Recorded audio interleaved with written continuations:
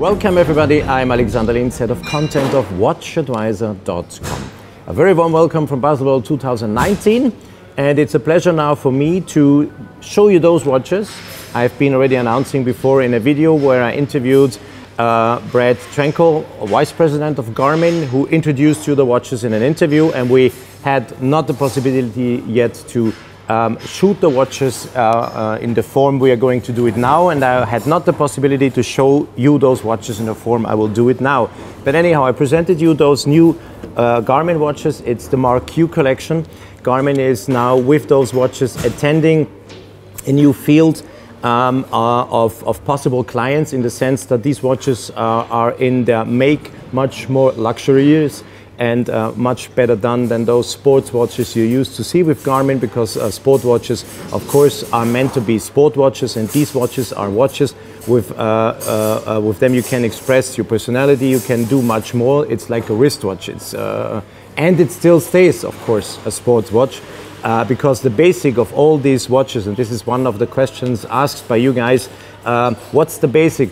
It's the Fenix 5 Plus. So all the functions uh, of the Fenix 5 Plus from Garmin is integrated in all the watches. And on top you have then the different models as the driver, that's the driver watch, uh, the one that has um, all these uh, racing circuits um, uh, preset. You can use the watch um, if you are a, an, an, an a, a motor uh, let's say a petrol head, let's call it petrol head, and you like driving on racetracks, you can use it to time your activities on a track. You can connect the watch with your um, by Bluetooth with your radio in the car, then uh, a magic voice would announce you the lap times and you will be able also to see if you're improving or not.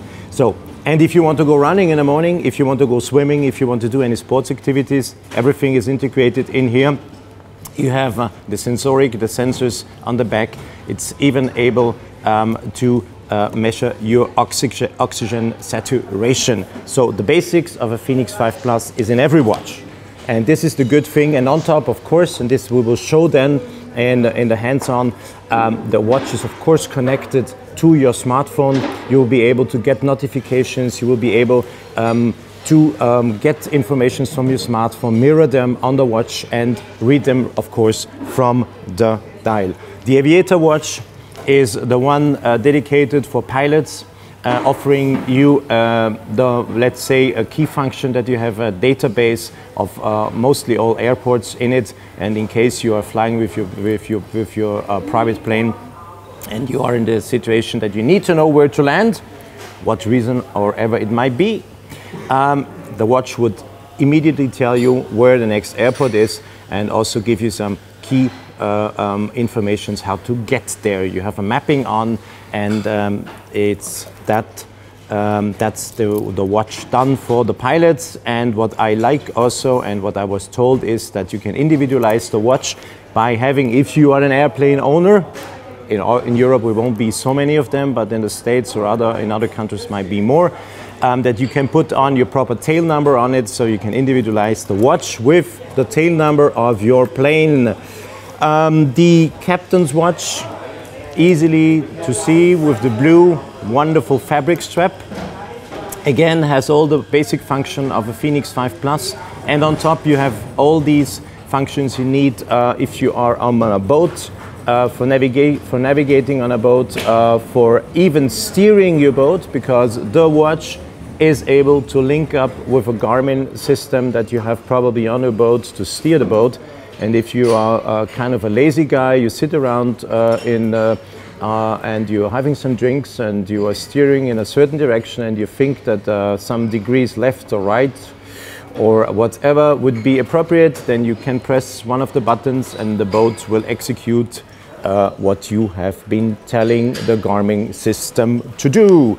The exhibition watch is the one um, I would go for because it's a watch I could imagine I use a lot for my sports activities is of course the basic once again Fenix 5 Plus but on top um, a lot of functions you need for outdoor activities, mapping, GPS tracking, etc., etc., and of course that uh, sensoric, that sensor on the on the on the back that will also uh, measure, if it's necessary, your blood oxygen saturation, give you also the pulse and many more. You have a barometric function, altitude, uh, compass, and so on. Everything is integrated in the Expedition watch. Very nice. And the good thing is, and this is what something I wanted to show you. So in case you don't like the strap that is on the watch, uh, you take it off. It's done. So this is a kind of one click, one click or uh, yeah, let's call it one click. Stolen from Hublot, they call it one click. Um, function where you can take off the strap easily. You don't need any tooling and you just clip it on again and there you go. Zack, and it's on. So you can exchange, you can change bracelets. You have a rubber strap coming on here. This is the fabric strap, of course, wouldn't, I wouldn't put it here, but in theory you could because the changing or the, ex, uh, the changing system for the straps is identical. Very, very good. And last but not least, it, and this is also the entry price level, that's the athlete. The athlete, of course, focuses very much on uh, activities, uh, running, bicycle. Uh, you can even train marathons with it and many more uh, things. And um, this watch is very light, uh, very nicely fitting with that rubber strap on your wrist. Um, and gives you uh, all what you need when you are an athlete or you want to become an athlete or you train hard or you want to track what you're doing. Um, and the really cool thing of that watch is, um, for me this morning, it will be a katos, uh, probably a very bad information because the watch uh, would tell you um, how long it took uh, to recover when you come back from sports, and then you would know and what fitness level you are. Since I have been out a little bit partying yesterday, uh, probably this morning, if I would have taken a watch and if I would run around, I would uh, would take me a little bit longer to recover. And there is an, uh, um, a scale on the outside on a bezel, and that uh, um, tells you the recovery time when you come back. And I think um, this morning the watch will tell me, "Oh, Alexander, you should have slept a little bit longer." So these are the Garmin watches. Um, the prices, uh, price-wise, we start with the athlete about, uh, with, not about, with 1,500 euros, including 19% uh, of uh, uh, value-added tax. Um, the athlete is, no, the expedition watch here is 1,750 euros. I have to check here, the captain's watch is 1,850, the one you can steer your boat with. I think that's the cool one. In summer, you sit fully relaxed with some drinks on your boat, Oh, nice, nice, nice. The Aviator's Watch, 1950. The one uh, with all the base, let's say, with all the knowledge Garmin has uh, now on aviation. You know that Garmin is uh, fully equipping aircrafts with all um, uh, with all board instruments, electronic board instruments, with uh, everything you need to fly an airplane. And um, then the one that is really a very, very cool one because I've never thought that one would be able to wear a watch to set, let's say, a personal start and uh, finish line. The watch, anyhow, has two, uh, up today, I think, 260 racetracks. The major racetracks are in there. You put the watch on your wrist. Once it has GPS connection to satellites, you start, you make your start line, you make your rounds, and when you pass the finish line, the watch will display the time, or either, as I already told you, when it's connected uh, by Bluetooth to, to, your, uh, to your stereo in the car, a nice voice would announce how quick or how slow you were, and then you can improve your lap times. And this is really pretty cool. And if you don't have the track yet in there, you can set your personal, or if a track is uh, uh due to limitations or by purpose shortened and then you have to go through pylons or whatever, you can set your own um, virtual start and finish line and you will be always able to uh, see how quick or how slow you were.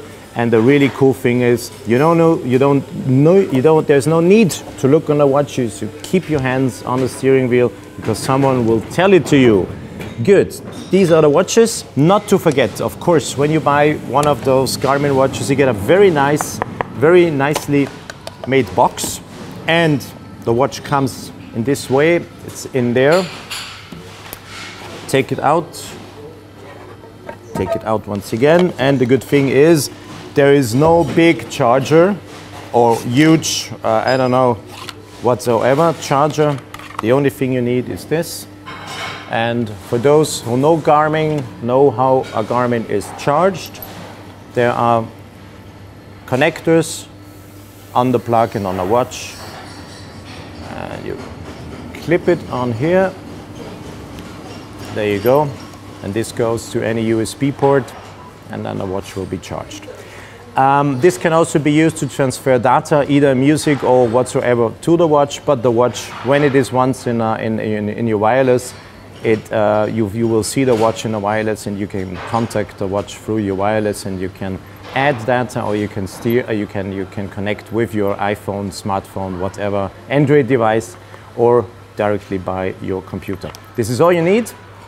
Um, battery life seems to be good, as I was told especially because Garmin is using a, a very smart and clever display that um, takes advantage of the light that is out there and so it's not a display that uh, consumes a lot of battery and uh, really um, so you should be able to wear that watch in and let's say um, uh, appropriate time uh, for your activities. And if you go on expedition, and this was something I asked Brett when I did the interview, because the expedition watch is able to track with uh, its GPS function uh, where you are, so you can, um, by the GPS function, track where you are on your expedition and then you can afterwards download everything and make it visible on you on your computer. And ask uh, uh, Brad do you need an uh, do you need a um, separate battery or I don't know do you need a, a, a, huge charging unit with you? And he said no. If you go on that uh, expedition mode it will last about one month. So not bad at all. And um, yeah these are the Garmin watches and I think it's a very cool product uh, the approach Garmin is doing here uh, seems uh, for me pretty smart because there is no one else out there doing it so far. Um, there are big brands uh, like uh, Tag Heuer, like LVMH, uh, the other LVMH brand Louis Vuitton, who offer smart watches or connected watches in that price range. Um, the, the, the thing I'm questioning myself is what additional functions do they really bring you? Because um, uh, these watches are pretty much based all on the Android um, system and um, you will always have a watch uh, equipped with the latest Android OS that will do the same as your watch you bought probably for 1,500, 2,000 euros for almost nothing. And this is the, the difficulty, I think, for um, uh, established uh, companies uh, going in there if they don't add any really specific USP on such a watch, I think it's very difficult to sell them because what's the purpose or what does the watch really give you additionally on top? And these Garmin watches do. So they have always the Fenix 5 Plus basic function and on top added what I have just been briefly explaining you and you can really enjoy yourself either on a racetrack, on in an aircraft, using it as a navigation device, uh, on a boat, on uh, outdoor activities if you are uh, a lot in outdoors and doing things and of course the basic thing what the Garmin always did perfectly is tracking and monitoring your sports activities. So guys, um, let's now do some close-ups uh, with the watches. I hope you liked what I have been uh, briefly uh, showing you here. If you have more questions, please use the comment section here underneath. Ask me and I will be more than happy to answer you. I've, if it's very specific what you want to know, I will forward the questions to the Garmin people and they will come back with answers hopefully and I will and forward them to you. Thanks for watching guys. Um, if you like what we're doing, don't forget to subscribe to our YouTube channel and to like our videos. Also do please not forget to check out what we're doing on Instagram and Facebook. Bye bye from Baselworld 2019 and from the Garmin Mark Q. Bye.